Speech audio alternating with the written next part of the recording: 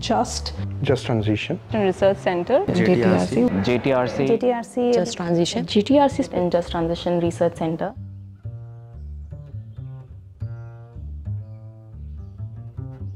The Indian Institute of Technology, Kanpur, an institute of national importance, has a vast 1055-acre campus noted for academic pursuits.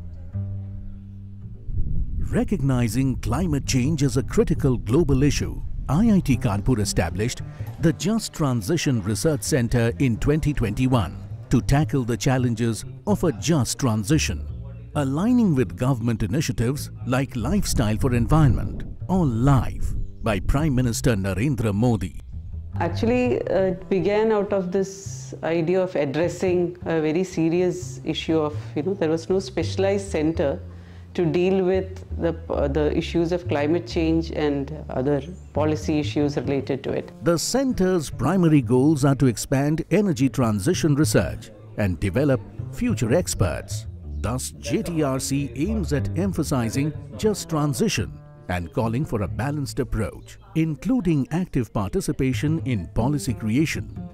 and actually before joining this PhD program, I never could have thought that something like energy can be so social and so human in nature.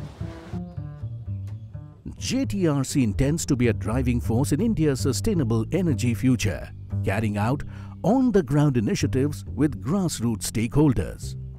The center prioritizes excellent field research through literature analysis, workshops, surveys, and interpretation of data. We are the bridge between top and the bottom. It's the first of its kind center in India which talks about just transition from a very top academic research institute. JTRC aims to be a dynamic force, significantly contributing to India's sustainable and just energy future, while governed by an ethical framework that prioritizes communities in the energy transition. And especially for a country like India, this is very crucial. And this is exactly what I think academic research should be doing, that is aiming for the societal development as a whole.